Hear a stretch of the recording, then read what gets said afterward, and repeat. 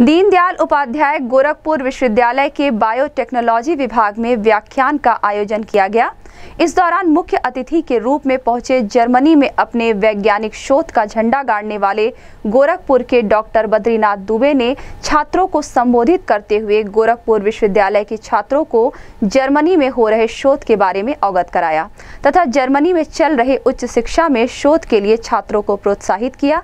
उन्होंने कहा, पूर्वांचल के छात्र बहुत होनहार हैं और अब जब इनको अवसर मिलता है तो अपने आप को सिद्ध करते हैं। उन्होंने जर्मनी के शोध संस्थानों में उच्च शोध हेतु जाने के लिए छात्रों का मार्गदर्शन किया इस संबंध में गोरखपुर न्यूज़ से बात करते हुए गोरखपुर विश्वविद्यालय के बायोटेक्नोलॉजी विभाग के अध्यक्ष प्रोफेसर शरद कुमार मिश्रा मुख्य वक्ता डॉक्टर बद्रीनाथ दुबे ने कहा.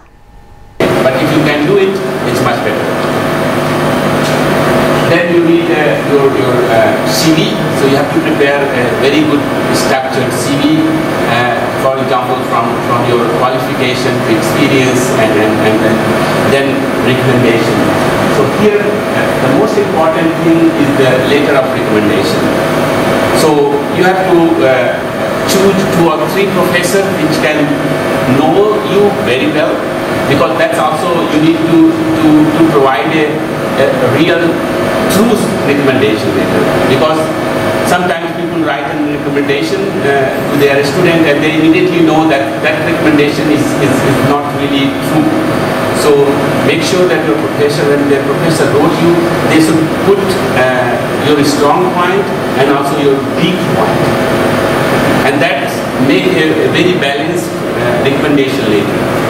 Uh, that you might need a proficiency uh, certificate. We have already talked about it. Aim to score high, otherwise the PhD provider in the Germany may reject your application. So either you should convince that you can uh, speak very well English or you can write very well English.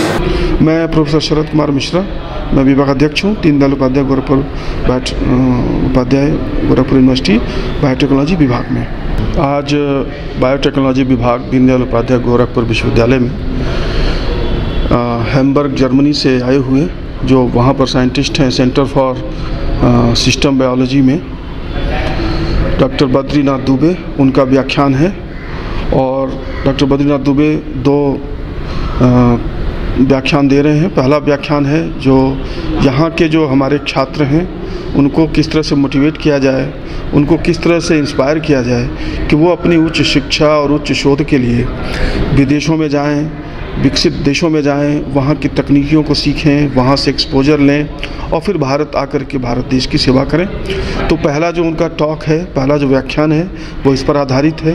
वो हमारे छात्रों को इसके बारे में बताएँगे कि किस तरह से यूरोपियन कंट्रीज़ में और यूएसए में उच्च शिक्षा में शोध के लिए जाया जा सकता है, किस तरह से अप्रोच किया जा सकता है। दूसरा जो उनका व्याख्यान होगा, वो व्याख्यान उनका जो शोध चल रहा है जर्मनी में वो एक ट्रेन्योर ट्रैक साइंटिस्ट के रूप में वहाँ पर काम कर रहे हैं। एक पूरी पूरी साइंटिफिक टीम को लीड कर रहे हैं। और वो बैक्टीरिया में जो सिग्नलिंग मैकेनिज़्म होता है सिग्नलिंग सिस्टम होता है, उसके बारे में वो अपना व्याख्यान दे रहे हैं, जिस पे वो वहाँ पर जर्मनी में काम कर रहे हैं। डॉक्टर बद्रीनाथ दुबे ये गोरखपुर के ही हैं, गोरखपुर के ही छात्र रहे हैं तो ये बहुत ही सौभाग्य की बात है कि वो हमारे विश्वविद्यालय में, हमारे डिपार्टमेंट में उन्होंने अपना समय दिया है और व्याख्यान हो रहा है। मेरा नाम डॉक्टर बद्रीनाथ दुबे है। मैं ही गोरखपुर का रहने वाला हूँ और अभी मैं जर्मनी में, हैमबर्ग में, टेन्योर साइंटिस्ट हूँ और टीम लीडर हूँ। आज संगोष्ठी का मेन जो पर्पज़ ये है कि मेरा जो टॉक है वो दो पार्ट में है। पहले टॉक में मैं बच्चों को ये बता रहा हूँ कि वो कैसे जर्मनी में अपना स्टडी के लिए कैसे प्रयास कर सकते हैं क्या क्या चीज़ों की आवश्यकताएँ होती हैं। अगर आप बाहर से पीएचडी करना चाहते हैं या मास्टर करना चाहते हैं या इवन बैचलर करना चाहते हैं। सेकेंड मैं अपने रिसर्च के बारे में बताना चाह रहा हूँ कि मैं वहाँ पर क्या रिसर्च कर रहा हूँ, किस टॉपिक पे मेरा रिसर्च है।